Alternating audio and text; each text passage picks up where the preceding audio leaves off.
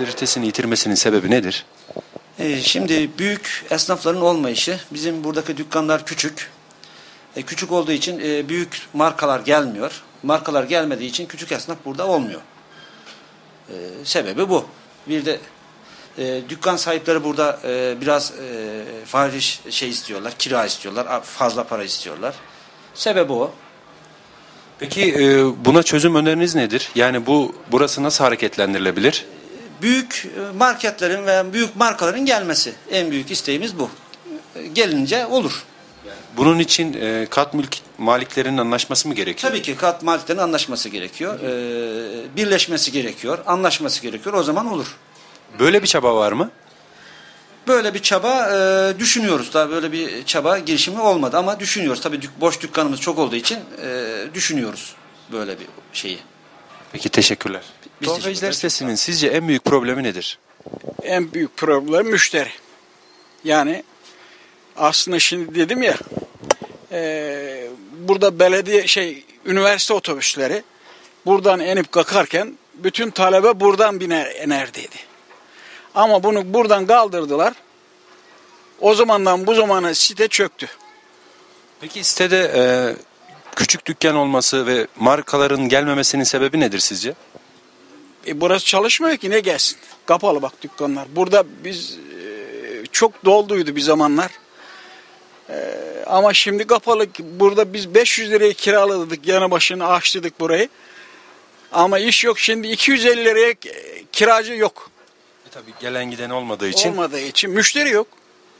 Buraya zaten köylümüz girmiyor. Ga- Gazalardan da gelenler de bilmiyorlar yani. Şehirlimiz zaten dışarıdan alışveriş ediyor. Bizde yüzde 90 bizim müşterimiz talebeydi. Ben burada 30 senedir buradayım. Yani 80'de açılışından beri buradayım. Peki e, çözüm öneriniz nedir? Yani ne olursa eski popülaritesini yakalar? Yani biz bunu defalarca dile getirdik. Belediye başkanlara da söyledik. Seçim zamanında uğradıkları zaman. Durakların buraya Ha bir, bir hiç olmazsa bir binsin bir bir tarafta bir şey az şey olun bir bir kampüsün birini buraya versinler dedik. Ama kimse de bir şey çıkmadı. Buranın bu dükkanların hepsi bitik. Allah yardımcınız olsun. Ha, Yani vergisini ödeyemiyorlar. Ben bu benim torunum. Ben torunuma devrettim. Ama yok. Hayırlısı olsun. Hidayet başka çare yok. Bekliyoruz yani inşallah Allah bir şey ver diye bir düzen yani şey olur diye bekliyoruz. Gün var ay besler, ay var gün besler derler ya. Onun için bekliyoruz oğlum. Sesinde esnaflık yapan biri olarak sizce tuhafeciler sesinin en büyük problemi nedir? En büyük problemi eski sistem olduğu için burası yenilenmesi lazım. Bütün dükkanların, mağazaların yenilenmesi lazım. Mesela İyaş Park. Ne güzel bir dizayn yapıldı. Yeni bir sistem oldu. Burada da ona benzer bir şeyler yapılması lazım.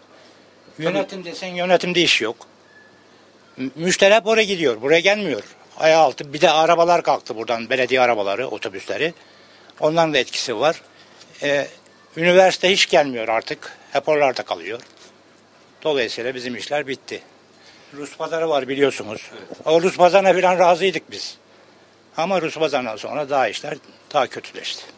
Peki bunun için sizce e, çözüm önerisi olarak ne olabilir? Yani ne olursa daha iyi hale gelir? Eski popülerliğini yakalar. Eski popülerliğinin yakalanması için umumi buranın dizayn yapılması lazım diyorum ben. Başka bir şey demiyorum.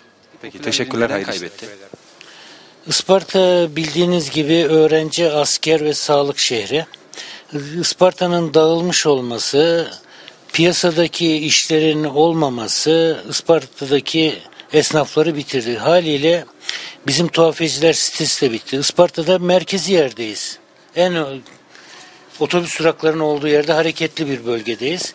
Ve lakin benim bu katta, oturduğumuz bu katta eskiden hava parasıyla dükkan bulmak mümkün değildi. Şimdi 20'nin üzerinde boş dükkan var. Bunda mal sahiplerinin en büyük kabahati iş yaparken yüksek kira istemeleri. Daha sonra müşteri potansiyelinin bölünmesi. Burada çalışan esnaf arkadaşlar da gerektiği şekilde birbirleriyle yardımlaşmaması ve büyük markaların alışveriş merkezlerinde toplanması en büyük etken. Sitemiz inşallah iyi olacak. Nezih bir ortam içinde sıcak A'dan Z'ye her yerimiz müsait. Her türlü işe müsaitiz. Ama ne yazık ki yavaş yavaş popülaritesini kaybetmekte ve müşteri kaybına uğramaktayız. Peki buna bir çözüm öneriniz var mı? Şimdi en büyük etken reklam olayı çok önemli. Üniversiteden tanıdığım bazı gençler daha tuhafiyeciler sitesine girmemiş. Üçüncü sınıftaki bir öğrenci. O bakımdan reklam konusuna önem vermek gerekir. Buradaki esnafımızın biraz daha bazı değişiklikler yapması gerekir müşteri toplama bakımından. Yenilenme anlamında mı? Tabii yenilenme anlamında hayat şartları, iktidarın şu andaki esnafı olan baskısı, büyük mağazacılık bizim buradaki esnafı bitirdi. Biz de aynen eski kafada devam ettiğimiz için müşteriyi toplayamıyoruz ve bunun sıkıntısını hep beraber yaşıyoruz. Peki teşekkürler hayırlı işler. Ben teşekkür ederim. Allah sizlere de kolaylık versin. Ajans 32 olarak bizlerin problemleriyle ilgilendiğiniz için çok çok teşekkür ederiz. Gerçekten bu yarayan bir kanamız, yara, yara. E, Şimdi daha önceki projelerde e, karşı belediye işhanı ile Is- tuhafiyeciler sitesine birbirine birleşecekti. Bu projede vardı. Şimdi rafa mı kalktı bu proje? Yusuf Ziya Günaydın'ın ilk belediye başkanlığı sırasında gündeme taşındı. Biz bunun için bir mücadele ettik. Pamukkale dediğimiz yerden gireceklerdi, o binayı gezeceklerdi. Alt geçitte tuhafiyeciler sitesine gelinecekti. Geçen dönem Günaydın'ın sırasında bunu yapamadık Sayın Başkanım sırasında. Hasan Balaman zamanına geldiğimizde de Konu birkaç sefer gündeme taşındı. Hasan Balaman geldi, görüştü, etti kıldı. Hep Türkiye'deki siyasetçilerin en büyük özelliği cekcak olduğu için yapacağız, kılacağız. Seçim öncesi her şey oluyor. Maalesef seçim sonrası kimse bu konuya sıcak bakmıyor. Tuhafiyeciler sesi yine seçim vaadine kurban gitti diyebiliriz o zaman. Tabii tabii. Her halükarda hepimizin hayatı o değil mi? Ben şimdi emekli bir memurum mecburen burada şartlar gerektirdiği için duruyorum. Seçimlerden önce bizlere ne ümitler vermişlerdi. E, Üç ay geçti. Ben daha emekli maaşımın ne kadar arttığını daha öğrenemedim. Ki Mayıs'a kalmış sözde. E şimdi ben e, ayağımı yorgana göre uzatacağım ama yorgan çok ufaldı. Ben büyüyemedim ama halen aynıyım. Fakat yorgan çok ufaldığı için maalesef ayaklarım hep dışarıda. eski popülerliğini yitirmesinin en büyük sebebi sizce nedir? yenilik eksikliği. Halbuki halbuki e, tuhafiyeciler sitesi şehrin göbeğinde, göbeğin göbeğinde hakikaten e, yürüyen merdiveniyle efendimiz 210 dükkanıyla fevkalade bir yerde ama e, yürüyen merdivenlerimizin bile çalışmaması, dükkanların küçüklüğü, yeni yeni AVM'lerin açılması Is- e, Isparta'daki talepleri azalttı. Tabii ki bu arada e, bizim e, insanlarımızın küçük yerlerde bir şeyler satma imkanlarının, markalı giysi satmamalarının etkileri de var diyorum. Peki bu eski popülerliğini yakalaması için sizce ne yapılması gerekir?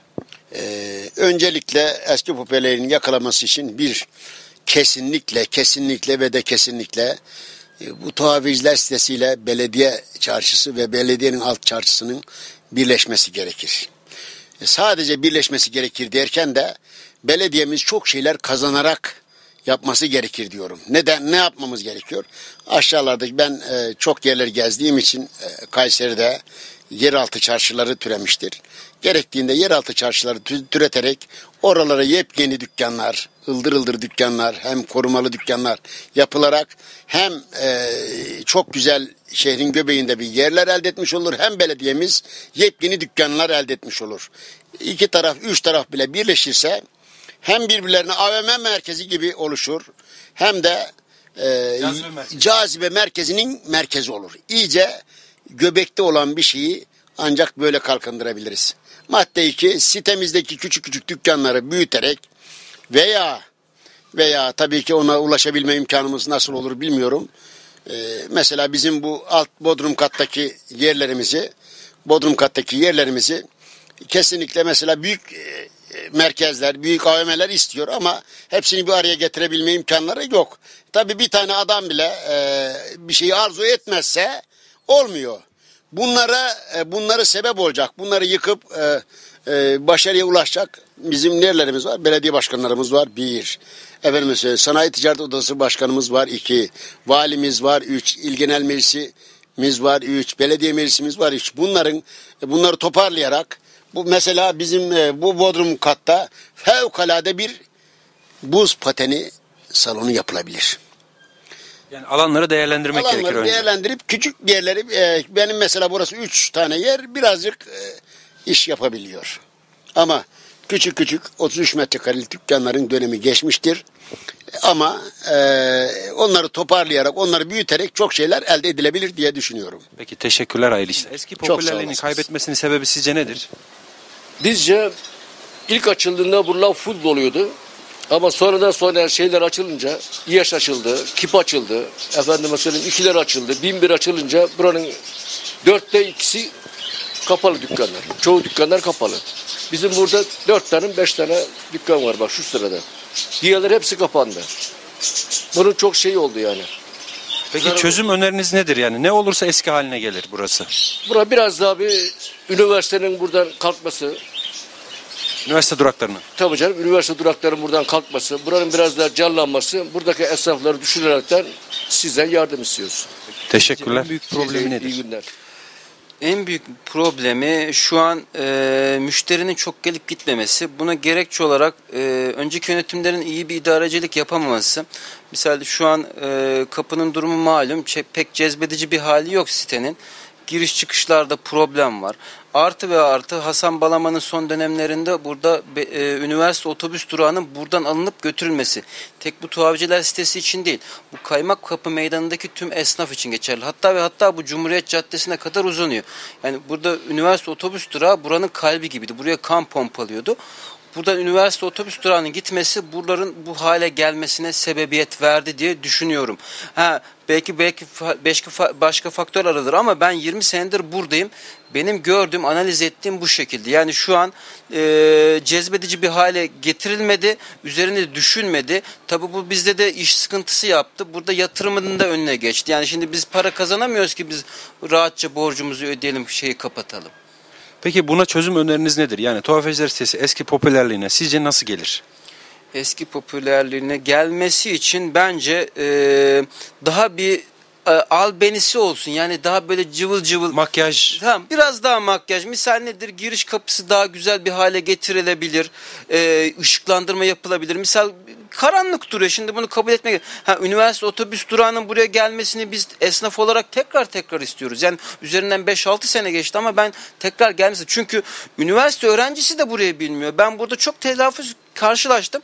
İkinci sınıf, üçüncü sınıf olmuş öğrenciler tuhafeciler sitesinden haber yok. Aa diyor böyle bir yer mi varmış diyor. Yani böyle muhabbetlerle ben karşılaşıyorum. Yani bu da hoş olmayan bir şey. Çünkü üniversite öğrencisi buraya niye gelir? Okusun. Yani bize de bir faydası dokunsun diye de geliniyor. Yani şimdi bunun bir anlamı olmuyor yani. Çok anlamsız kaldı yani.